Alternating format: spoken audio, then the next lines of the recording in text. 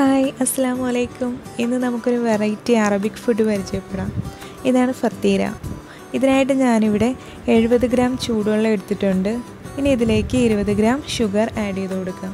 ഇനി വേണ്ടത് ഈസ്റ്റാണ് പതിനഞ്ച് ഗ്രാം ഈസ്റ്റും കൂടെ ചേർത്ത് നമുക്ക് നന്നായിട്ടൊന്ന് മിക്സ് ചെയ്തെടുക്കാം. ഷുഗറും ഈസ്റ്റും ഒക്കെ ആ ചൂടുവെള്ളത്തിലൊന്ന് നന്നായിട്ട് അലിഞ്ഞ് കിട്ടണം.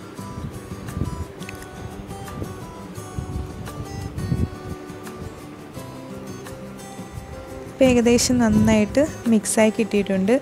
ഇനി നമുക്കിതിലേക്ക് വേണ്ടത് അമ്പത് ഗ്രാം മൈദപ്പൊടിയാണ്. അപ്പോൾ നമുക്ക് മൈദപ്പൊടിയും കൂടെ ചേർത്ത് നന്നായിട്ടൊന്ന് മിക്സ് ചെയ്തെടുക്കാം.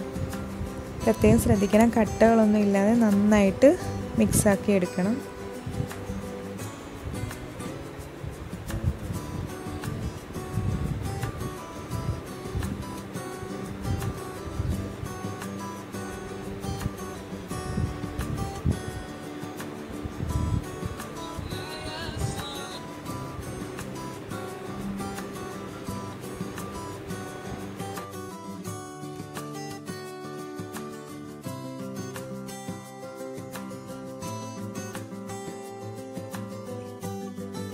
ഇപ്പോൾ നമ്മുടെ മൈദപ്പൊടിയൊക്കെ നന്നായിട്ട് മിക്സായി കിട്ടിയിട്ടുണ്ട്. ഇനി നമുക്കൊരു മുപ്പത് മുതൽ അറുപത് മിനിറ്റ് വരെ ഒന്ന് റെസ്റ്റ് ചെയ്യാനായിട്ട് മാറ്റി വയ്ക്കാം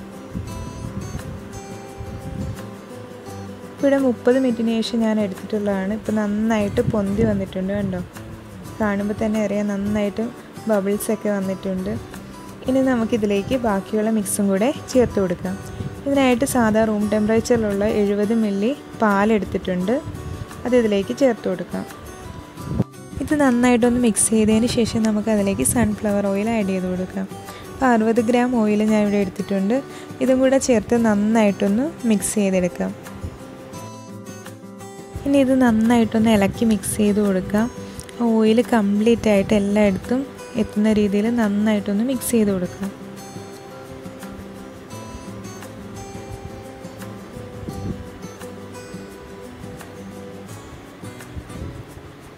ഇനി നമുക്കിതിലേക്ക് കുറച്ച് ഉപ്പ് ചേർത്ത് കൊടുക്കാം. ഒരു ടീസ്പൂൺ ഉപ്പാണ് ഞാൻ ഇവിടെ എടുത്തിട്ടുള്ളത്.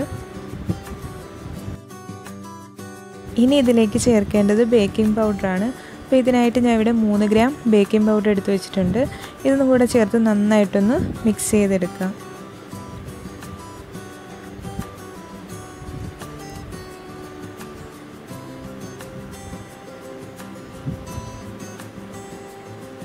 നന്നായിട്ട് തന്നെ മിക്സ് ചെയ്ത് കൊടുക്കാം. ബേക്കിംഗ് പൗഡർ ഉപ്പും ഒക്കെ നന്നായിട്ടൊന്ന് മിക്സായി കിട്ടണം. അതിന് ശേഷമാണ് നമുക്കിനി ബാക്കിയുള്ള മാവ് ചേർത്ത് കൊടുക്കേണ്ടത്.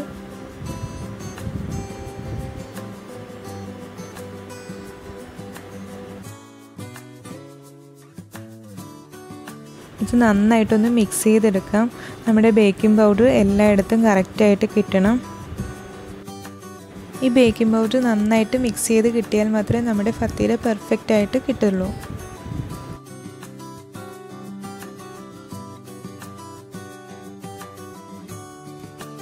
ഇപ്പോൾ ഏകദേശം ഇവിടെ നന്നായിട്ട് മിക്സായി വന്നിട്ടുണ്ട്. ഇനി നമുക്കിതിലേക്ക് ഇരുന്നൂറ് ഗ്രാം മൈദയാണ് ചേർത്ത് കൊടുക്കേണ്ടത്. അപ്പോൾ രണ്ട് പാർട്ടായിട്ട് വേണം മൈദ ചേർത്ത് കൊടുക്കാൻ. ആദ്യം പകുതി ചേർത്ത് കൊടുത്ത് നന്നായിട്ടൊന്ന് മിക്സ് ചെയ്തതിന് ശേഷം ബാക്കി പകുതിയും കൂടെ ചേർത്ത് നമുക്ക് നന്നായിട്ട് യോജിപ്പിച്ചെടുക്കാം.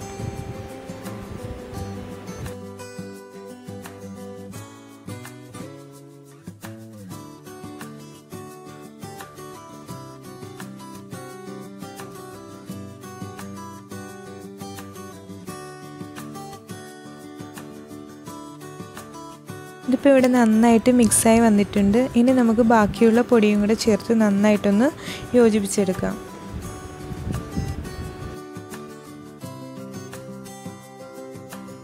ഇത് നമ്മൾ ഓവനിൽ വെച്ചിട്ടാണ് ബേക്ക് ചെയ്തെടുക്കുന്നത്. അപ്പം ഓവൻ ഒന്ന് പ്രീ ഹീറ്റ് ചെയ്ത് വെക്കണം. ഒരു നൂറ്റി അമ്പത് ഡിഗ്രിയിൽ പത്ത് മിനിറ്റ് ഒന്ന് പ്രീ ഹീറ്റ് ചെയ്ത് മാറ്റി വയ്ക്കാം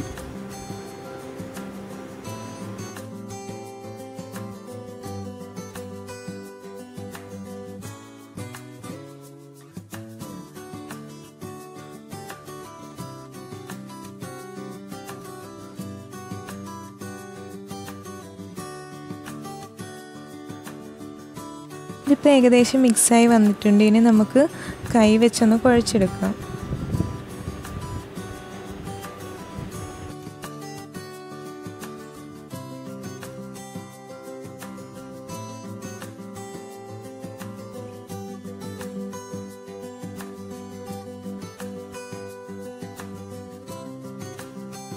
ഇനി നന്നായിട്ടൊന്ന് കൈ കൊണ്ട് അയച്ചെടുക്കാം. ഇനി നമുക്കിതിലേക്ക് പ്രത്യേകിച്ച് ഓയിലൊന്നും ആഡ് ചെയ്യേണ്ട ആവശ്യമില്ല. നമ്മൾ നേരത്തെ ചേർത്ത് കൊടുത്ത ഓയിൽ കൊണ്ട് തന്നെ നമ്മുടെ കയ്യിലൊന്നും മാവ് ഒട്ടിപ്പിടിക്കുന്നില്ല.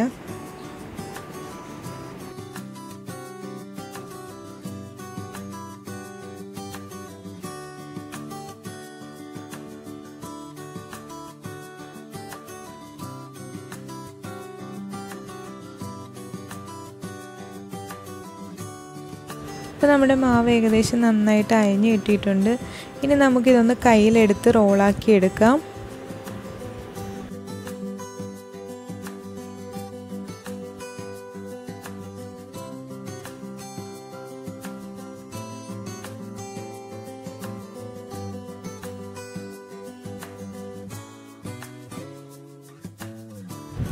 കയ്യിലെടുക്കുമ്പോൾ തന്നെ അറിയാം നല്ല സോഫ്റ്റ് ആയിട്ടുണ്ട് മാവ് ഇപ്പം.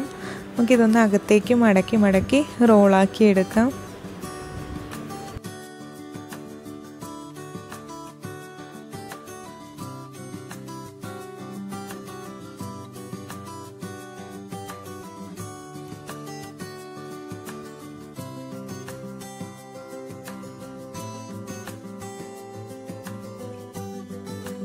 ഇപ്പോൾ റോളാക്കി എടുത്തിട്ടുണ്ട്. ഇനി നമുക്കിതൊരു പതിനഞ്ച് മിനിറ്റത്തേക്ക് റെസ്റ്റ് ചെയ്യാനായിട്ട് മാറ്റി വയ്ക്കാം പതിനഞ്ച് മിനിറ്റിന് ശേഷം എടുത്തിട്ടുണ്ട്. നമ്മൾ വെച്ചതിനേക്കാൾ നന്നായിട്ട് മാവ് പൊന്തി വന്നിട്ടുണ്ട്. ഇനി കൗണ്ടർ ടോപ്പിൽ കുറച്ച് പൊടി വിതറിയിട്ട് നമ്മുടെ മാവ് ആ പൊടിയുടെ മുകളിലേക്കായിട്ട് വെക്കാം.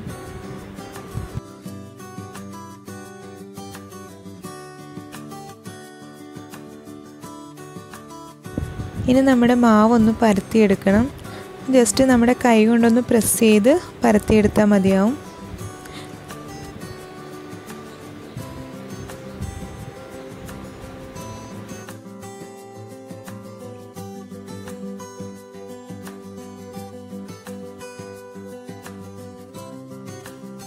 കണ്ടോ ഈ ഒരു തിക്നെസ്സിൽ വേണം പരത്തിയെടുക്കാനായിട്ട് ഇനി നമുക്കിതൊന്ന് കട്ട് ചെയ്ത് മാറ്റാം.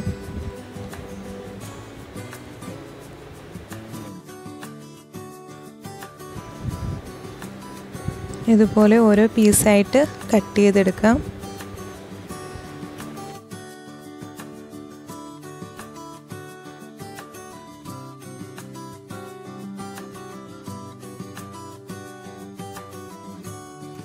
ഇനി ഓരോ പീസായിട്ട് നമുക്കൊന്ന് റോൾ ചെയ്തെടുക്കണം.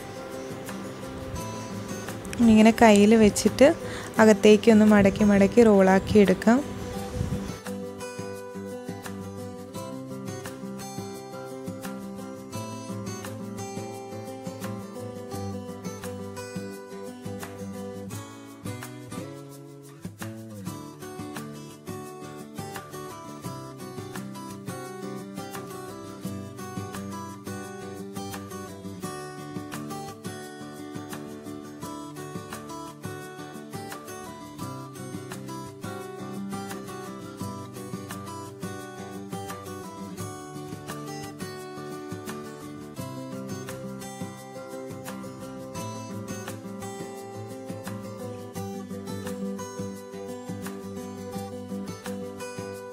ഇപ്പോൾ എല്ലാ പീസസും റോളാക്കി എടുത്തിട്ടുണ്ട്. ഇനി നമുക്കിതൊന്ന് കവർ ചെയ്ത് മാറ്റി വയ്ക്കാം ഇനി നമുക്ക് ബേക്ക് ചെയ്യാനുള്ള തട്ട് റെഡിയാക്കി എടുക്കാം.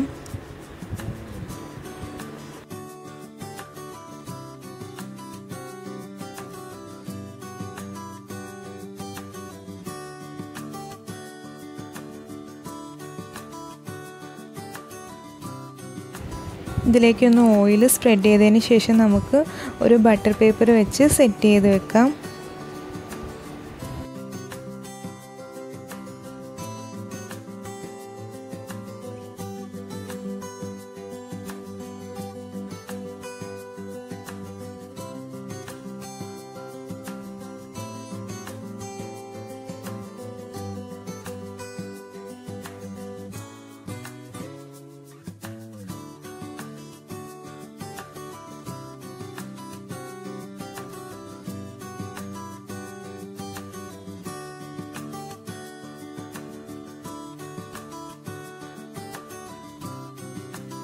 ഇനി നമുക്ക് ബോൾസ് ഒക്കെ ഒന്ന് പരത്തിയെടുക്കണം.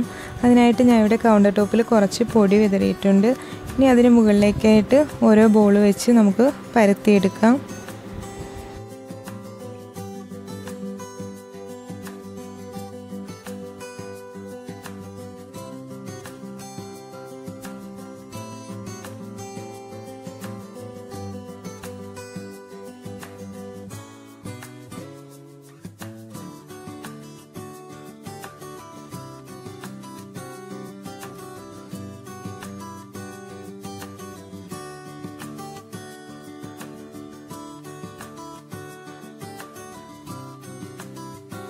ഇത് ഒരുപാട് അങ്ങ് തിന്നാക്കി പരത്തണ്ട ഒരു ചെറിയ കട്ടി വേണം.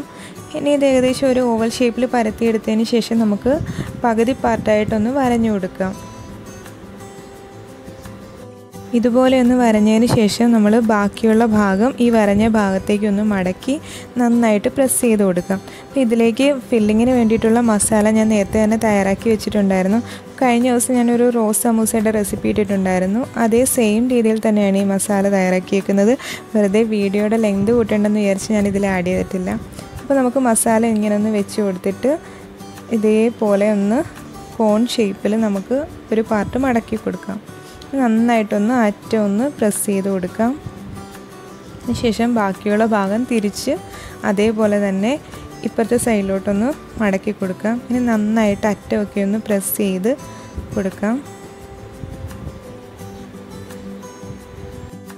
ഇത് കണ്ടോ ഇപ്പോൾ നല്ലൊരു കോണിന്റെ ഷേപ്പിൽ വന്നിട്ടുണ്ട്. ഇനി നമുക്കിത് നമ്മുടെ ബേക്കിംഗ് ട്രേയിലേക്ക് മാറ്റി വയ്ക്കാം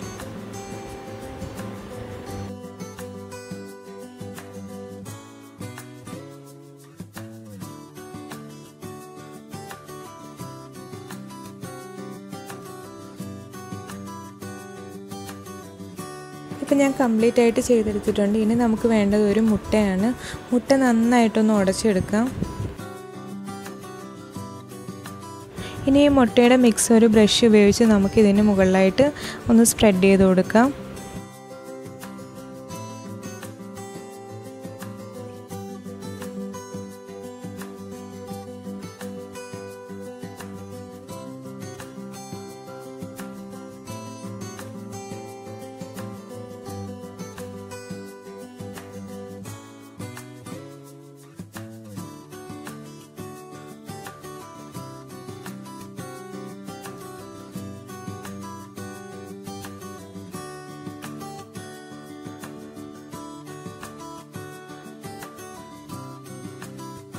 ഇത് സബ്ജ സീഡാണ്. അപ്പോൾ നമുക്കിതിന്റെ രണ്ടറ്റത്തായിട്ട് ഇതൊരു ഭംഗിക്കായിട്ടൊന്ന് വെച്ച് കൊടുക്കാം.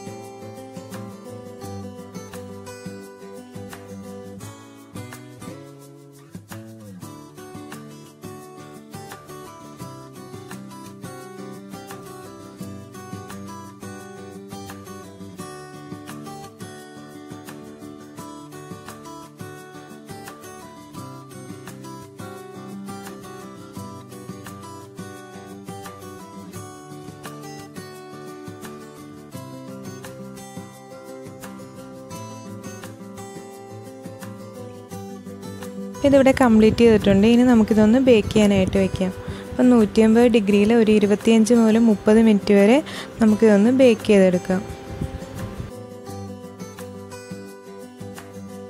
ഇതിപ്പോൾ ഏകദേശം ഒരു ഇരുപത് മിനിറ്റായ സ്റ്റേജാണ് ഇപ്പം നമ്മുടെ ഫത്തീര ഇവിടെ റെഡി ആയിട്ടുണ്ട്. ഇനി നമുക്കിത് ഓവനിൽ നിന്ന് എടുക്കാം. ഫത്തീര ഇവിടെ റെഡി ആയിട്ടുണ്ട്. അപ്പോൾ എല്ലാവരും ഒന്ന് ട്രൈ ചെയ്ത് നോക്കുക വളരെ ടേസ്റ്റിയാണ് അപ്പോൾ വീഡിയോ ഇഷ്ടമായെങ്കിൽ ലൈക്ക് ചെയ്യാനും ഷെയർ ചെയ്യാനും സബ്സ്ക്രൈബ് ചെയ്യാനും മറക്കല്ല്? സബ്സ്ക്രൈബ് ചെയ്യുമ്പോൾ അതിനടുത്തുള്ള കുഞ്ഞ് ബെല്ലൈക്കൺ കൂടി ഒന്ന് പ്രസ് ചെയ്യുക. എങ്കിൽ മാത്രമേ ഞാനിടുന്ന വീഡിയോസിനെ നോട്ടിഫിക്കേഷൻസ് നിങ്ങൾക്ക് കിട്ടുകയുള്ളൂ. Thanks for watching bye bye